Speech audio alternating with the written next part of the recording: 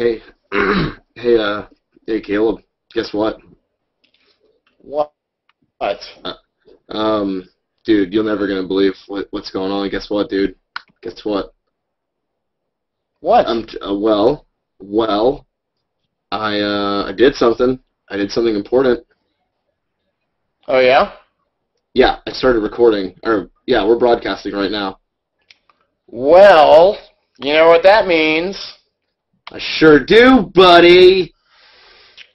Well, I'm ready. Just go.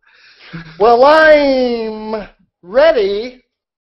Well, I'm clean as a whistle and I'm bright as the sun. I've got my head on a swivel and I'm a number one. Dun, dun, dun, dun. I'll read the paper, then get on with the fun. Holy shit, my whole existence is a sick, cruel pun. Dun, dun, dun. So why not sit back, relax, shut down your brain?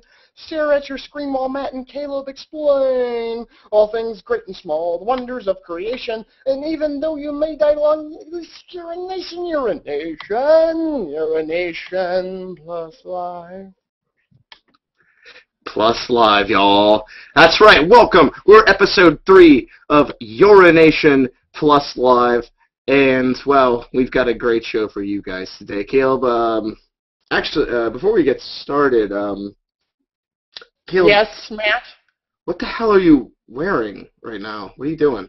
Well, Matt, um, you know, the, the first two shows, I sort of made a big stink about the fact that I was uh, made the co-host instead of the host, and you know, I, I decided not to do that simply yeah, for this you reason. did.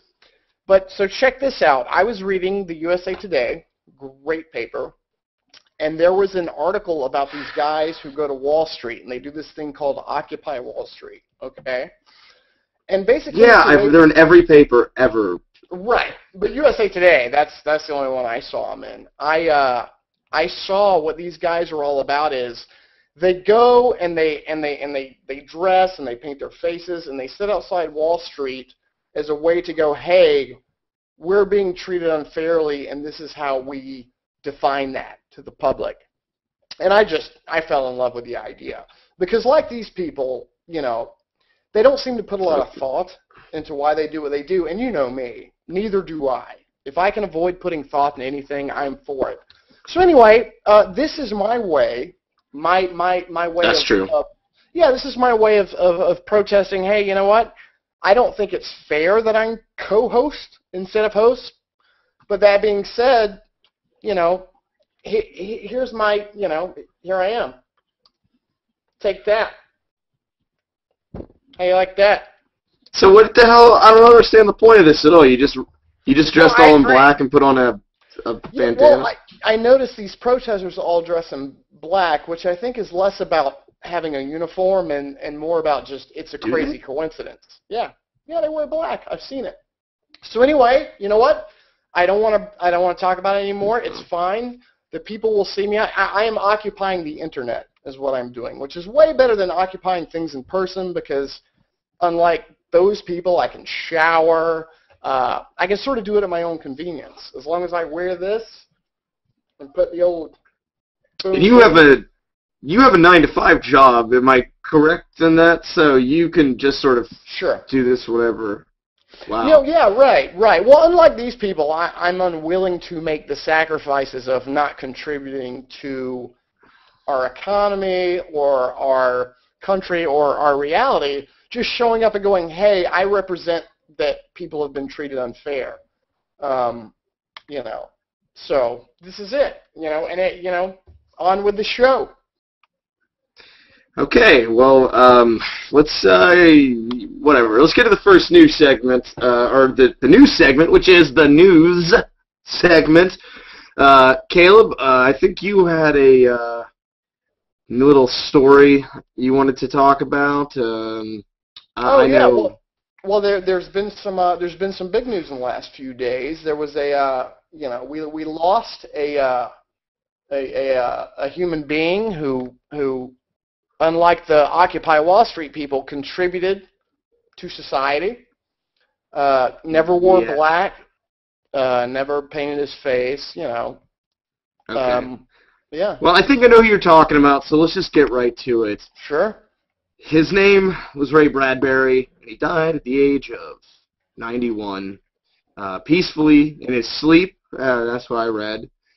Um, so I just, you know, I think we should throw a shout out to the greatest, one of the great sci-fi writers of all time. Sure. yeah. Um, Ray Bradbury. For those that don't know, not me because I'm very aware of his work. He was a comic book artist, right? Not even close. No, Uh, oh, no, not even he- close to being right. the guy that wrote Blondie and Dagwood. No, no, he didn't bl- write Blondie and okay.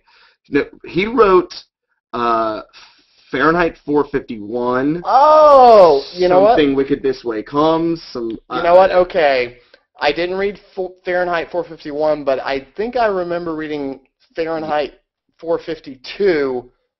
Uh oh, now we're in trouble. I think it was a title. Maybe I saw. I, I don't think that. No, there's no way that that is an actual novel that you read. That's. I don't.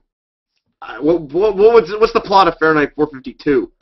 Um, well, from what I remember, and I'm spitballing here, but I, I remember it having to do with people using books to kill each other, like beat each other to death with, and it was all about, hey, you know, we should we should burn these books and get rid of them because hey, people are killing people with these books. People are beating the beating each other over the head with Bibles literally. And then I think it was like, hey, burning books is a good thing because it it the, it really does save lives. there is no way that that book exists, nor is cause that that was not the plot was about censorship in the first one, and the whole society fell apart at the end of the the first oh, novel. I Oh. do not believe that you read that book. Wait, wait. Uh, Ray Bradbury, we're talking about, right? Yes, Not- Ray Bradbury. Not to be confused with Gene Roddenberry, the creator of Star Trek, correct? He absolutely correct. I and, agree. and not 100%. to be and not to be confused with Philip K. Dickberry, uh, this neighbor we had growing. Yeah, this guy, this neighbor we had growing up, who was a Vietnam vet. Real weird dude. Oh, oh, okay. You, you had a you had a neighbor named Philip K. Dickberry. Yeah, we used to make fun of him because of his name. Dick Dickberry. No, no, no, Philip. I mean, who the fuck names himself Philip? Oh, Yeah, we'd be a like, stupid, yeah. stupid name. You're right. So anyway, we gave him a hard time. We used to set off firecrackers outside of his window just to spook him, because I guess he had been in Vietnam or Cambodia. I don't Oh remember. But, God, but uh, I don't know if Wow. wrote science fiction. Um, I'm like, pretty sure that he did not write science fiction. No. right, but I bet he, but I bet he he read for uh, Fahrenheit 452. Uh oh, here we Not go a book, again. like I said. Not a book. I'm Impossible. certain about that. Yes, that there is no way that that's a book.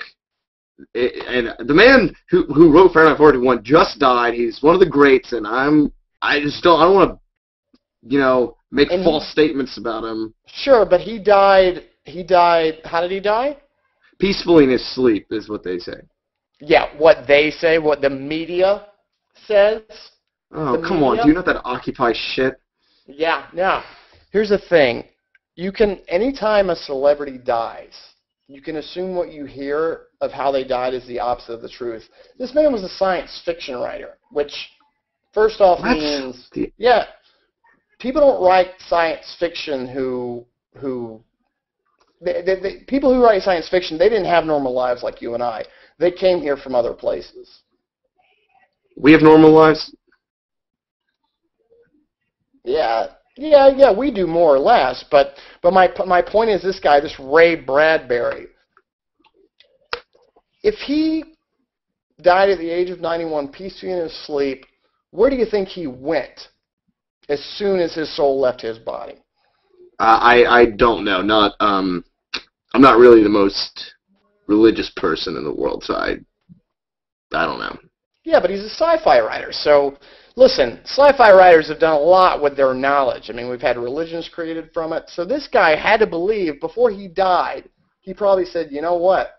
I can't wait to die because I'm going to be reincarnated as a, uh, you know, a Martian on a on a in a place that we haven't even discovered yet. And then I'm going to have to teach these other Martians that hey, we got to burn these books, these Martian books, because the last thing I want. I saw the human race use books to destroy each other, and and I don't want to see it happen in this Martian race. So he probably just went on to his, his Okay, next that's life not that's doing that. that's based on a philosophy. No, that's based on a philosophy that you just made up. That ba- is based on a book that he never wrote. Okay, it, it, never mind. You know, I think that we let's just move on because we have a very special, we have something very special to show you guys, uh, or to get to. We here, at You're a Nation Plus Live, for the first time, we have a guest. We have a guest on the show. How Oh yeah, is yeah, that? yeah. Yeah, no, that, that's great. No, and this is uh, this is this is huge for us uh, because you know I always felt like even as co-host I I didn't get enough time, but Matt, in his gratitude and graciousness as host, has agreed to let me uh, interview the guest. So I'm very excited about that. Um, it's a segment. It's a new segment. All right. Uh, well, let's let's. There you go. Hey, there you go. That way I can read. Uh, this segment's called Caleb Asks an Educated Pirate Questions Developed by Proust. Now, uh, Matt, do you mind, because I'm assuming he's, he's at your place, he's not here, um, do you mind going, going to get him so I can conduct my Yeah. interview? Absolutely. I'll I'll be right back. I'll get him. It's uh everything's gonna be this is gonna be great. I'm so excited. He's been in the next room and he's uh he's he's ready to go. Okay, in the meantime, uh, I want to again remind the fans, if you get a chance, check out Fahrenheit 452. It'll change the way you think about Not a book. About books and people in general. I, you know, I I, ha- I have a feeling uh, once this Occupy the Internet comes comes on, we'll uh, on- once it catches on, people will all sort of, oh hey. Uh, All right, you matey. Are you ready for the interview? My Yeah, my okay, head's well, having uh, technical difficulties. Yeah, thank, hey, thanks for uh, no, hey, th- thanks for joining us. We appreciate having you as a guest. Uh, I know you're a Not a problem, ye matey. Okay, well, we'll uh, so we're gonna get right to it, if that's okay with you. And again, a segment we call uh, uh, Caleb, Caleb asks an educated pirate uh, uh, questions from Proust. So here we go. All right, so uh, educated pirate, tell me what is your favorite virtue? My favorite virtue is the quest for knowledge that exists in all human beings. And also, my hook hand. Okay, all right. I'll show it to you after the show. okay, fair enough. Will you show it to Matt when he comes back from the bathroom? Uh, okay, great. Well, so tell me. uh, Sure. Matt's a good chap, by the way. Greatest host I ever met. yeah, is he the one that gave you that koozie, educated pirate? Yes, he said we're so close that I can drink from his cup oh, anytime. Why is my hat so wacky now? I'd say that's a good virtue to have. All right, let's move along. Let's move along since it's going so well. Okay, tell me, educated pirate, what are your favorite qualities in a man?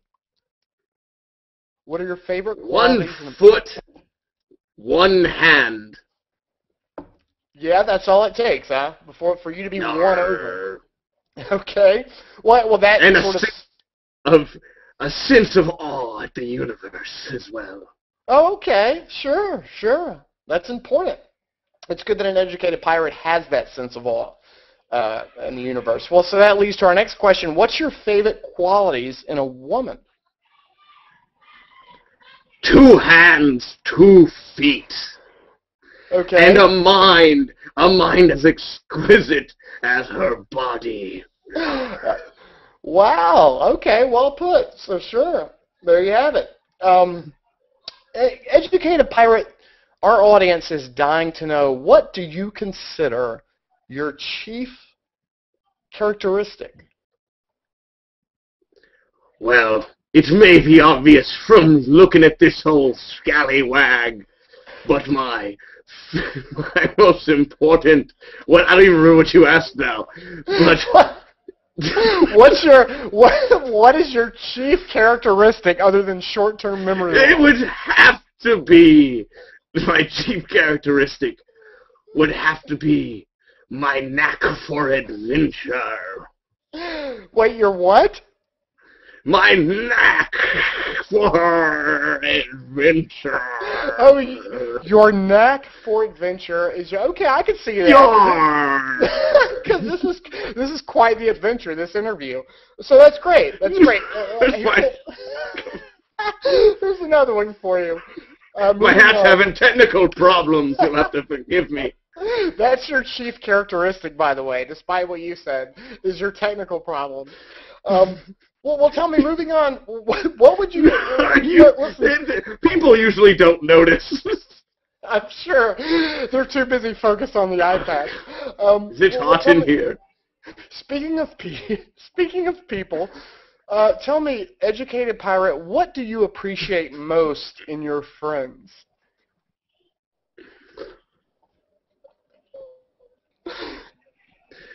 Well, I appreciate good old mates.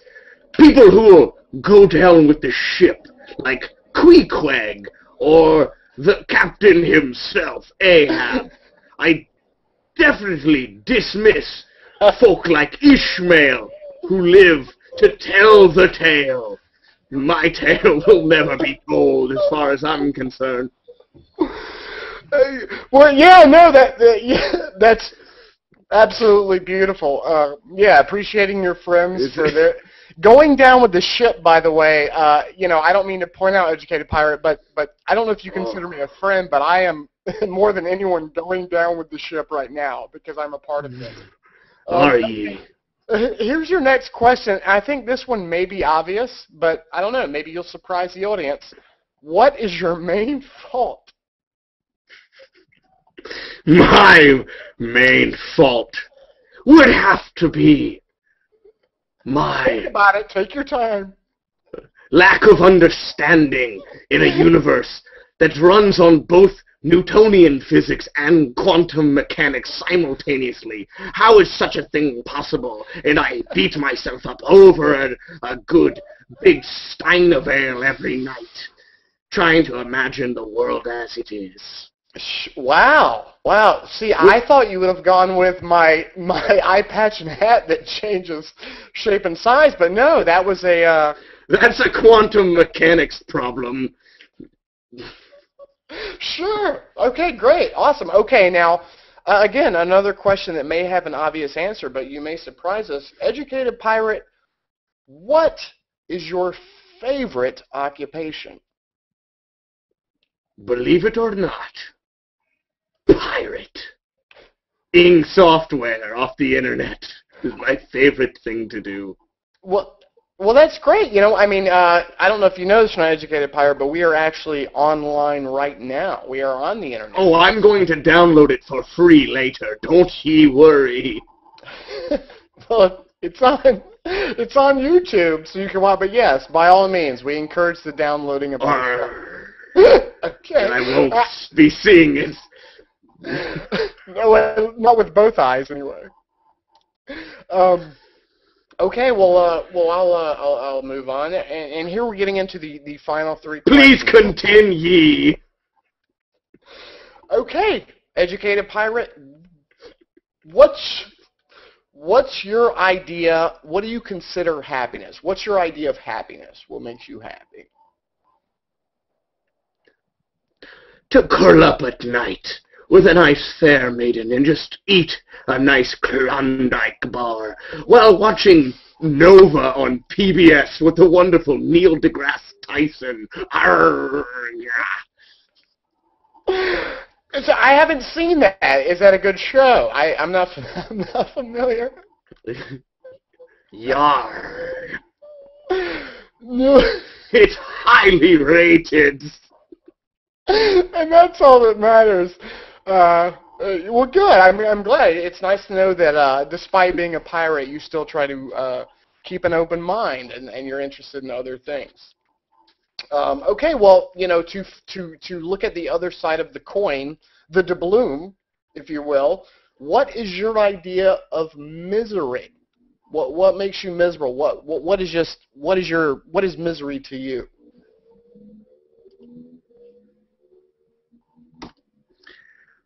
Well, when I hear in the paper of these Somali so-called pirates operating in the seas, I say, no, these are men who would never go down like a Queequeg or an Ahaba.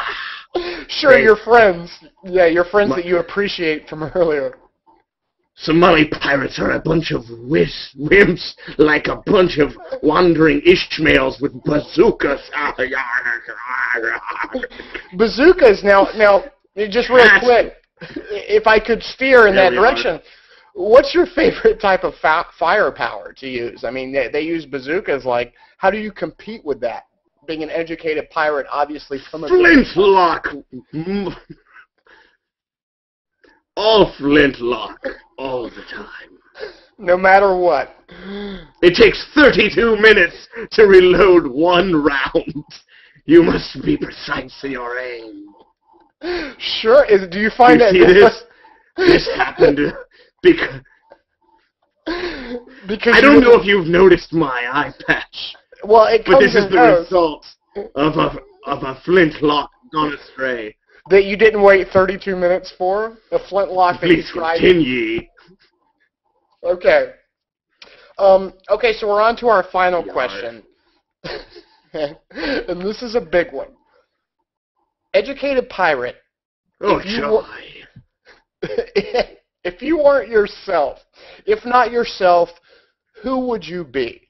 If not yourself, who else would you be if you could choose?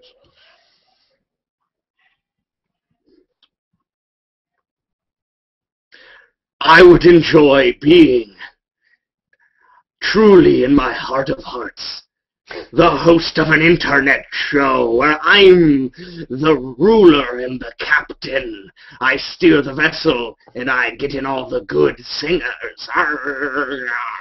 Well, I, you know what? Speaking of that's a great answer, by the way, because I've often had the same dream. I am curious, educated pirate. What if you were But you seem like an Ishmael. You could never handle the pressure. You would you would float on Queequeg's coffin, you sissy boy.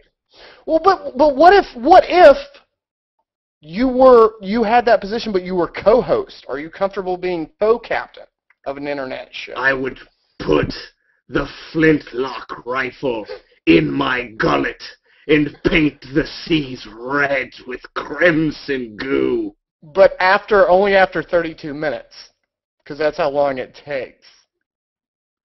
For the I would do it the moment I was offered the position, you fool. I have to run now. The seas are calling. My Okay, fair well- lady. This has been fun for all of ye. Well, I I want to give a big thanks to the educated pirate. Uh, hey, when you're backstage, will you tell Matt that we're we're ready to wrap up the show? And uh, I'll tell him for ye. I'll tell him as I walk the plank off your broadcast. in your parents' attic. But this is my best friend Matt's parents' attic. Thank ye very much. Occupy the internet. Oh boy. Oh man. That's how the stupid show go, you idiot. Did you guys high five? Oh, are we off?